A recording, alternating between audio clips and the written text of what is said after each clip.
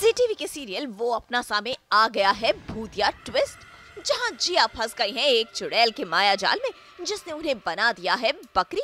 और अब जिया को तलाशते तलाशते अर्जुन और रानू पहुँच गए हैं इस चुड़ैल के ठिकाने पर, जहाँ बार बार ये चुड़ैल उन्हें डराने की कोशिश कर रही है। इतना ही नहीं, इस चुड़ैल ने रानू को अपने माया जाल में फंसाकर उससे अर्जुन पर हमला भी करवाया।